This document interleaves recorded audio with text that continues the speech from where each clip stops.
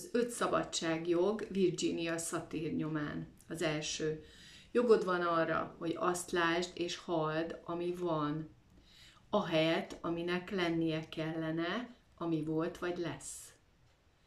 Jogod van arra, hogy kimond, amit érzel és gondolsz, ahelyett, hogy arról beszélnél, amit szabad vagy illik.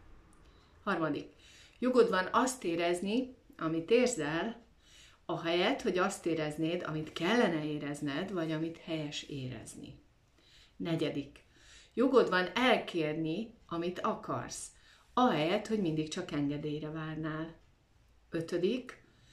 Jogod van saját magadért kockázatot vállalni, ahelyett, hogy mindig biztonságban lennél, és félnél elhagyni a járt utat a járatlanért.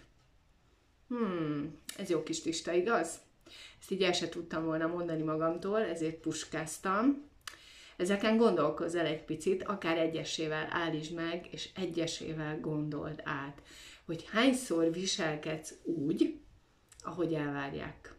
Hányszor viselkedsz úgy, ahogy gyerekként beléd nevelték. Mert azt mondták, hogy így kell. Mert azt mondták, hogy mi így szoktuk. Ne zörög, mert följön a kardos néni. Mindig ezt mondta a nagymamám. Mi meg nem mertünk játszani, mert azt gondoltuk, hogy a néninek alatta tényleg van egy nagy kardja. Közben meg felnőtt fejjel láttam, hogy ki van írva az ajtóra, hogy Kardos Istvánné, vagy nem tudom, hogy hívták.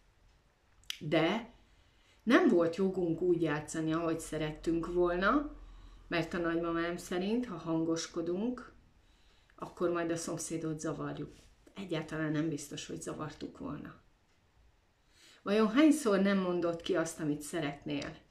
Inkább szenvedsz, inkább nyomorogsz, ahelyett, hogy kimondanád, hogy te ezt kéred, és a másik boldogan odaadná. Te meg nem mondod ki.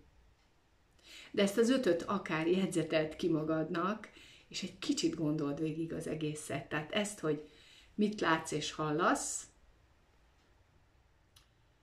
hogy tehát nagyon sokszor van az, hogy én, én már látom, meg tudom, hogy ez gáz. Tehát, hogy vagyok valahol, és ez nem oké. Okay. Tanítanak valamit, az nem jó.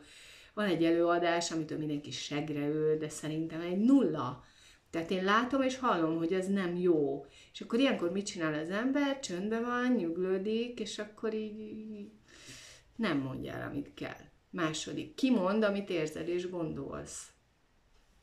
Nem mondod ki, megkérdezik, hogy jó ez így neked? És akkor jó, aha, szart, nem jó.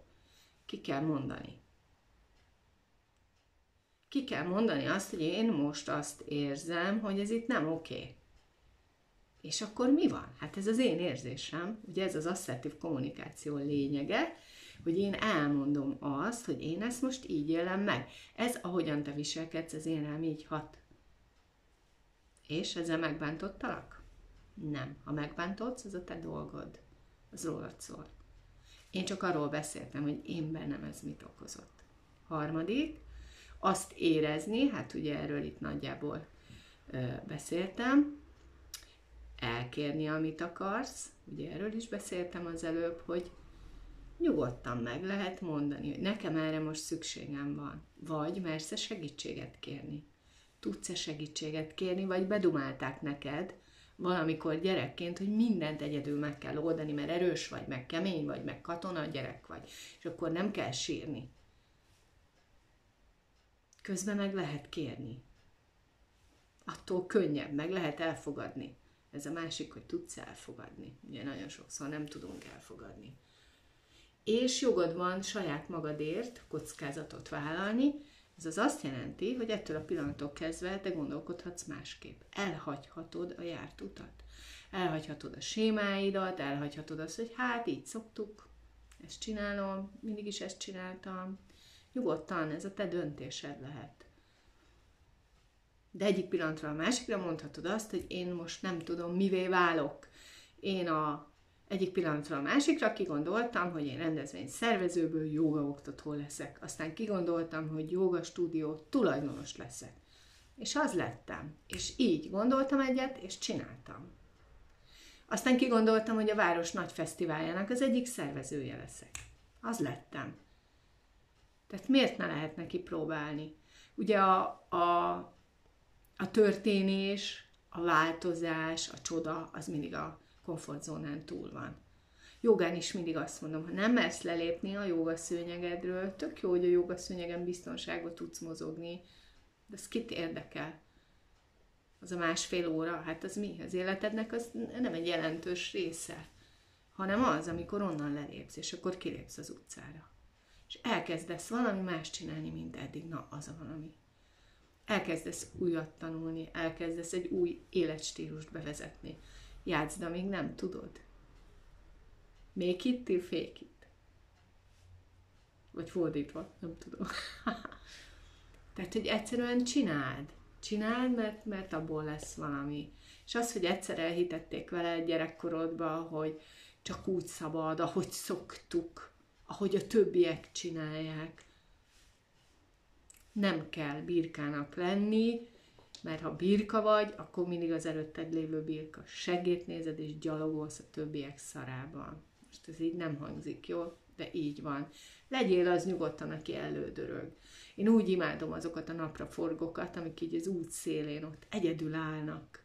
Nem túl jó helyen az út szélén, de az olyan bátor. Ő oda kimerészkedett a nagy tömegből. És akkor ő megmutatja, hogy ott is lehet létezni, ott is lehet élni. Szóval, hogy mondjuk neki ott mennyivel jobb az élete, azt nem tudom.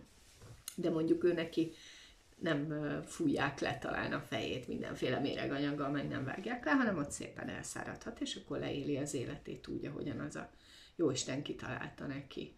Úgyhogy merje más lenni, merje megnyilatkozni. Ez a videó se tökéletes. Látod, már benyalhattam volna azt az ötöt az elején, nem nyaltam be, elolvastam. Mert tök mindegy, ez vagyok, ilyen vagyok. és vagyok, aki vagyok. Tudod, azért a torok csak rám egy picit itt bejelzett. Na, úgyhogy azt, azt, azt javaslom, hogy dolgozz ezzel egy kicsit, írkáld ki magadnak, gondold át, hogy, hogy melyik az, ami úgy tényleg hat rád, meg melyik az, amit úgy, úgy nem érzed azt, hogy jogod van. És akkor kezd el elhinni, hogy de, van jogod, ahhoz van jogod, amihez akarsz. Nyilván normális kereteken belül. Jó munkát!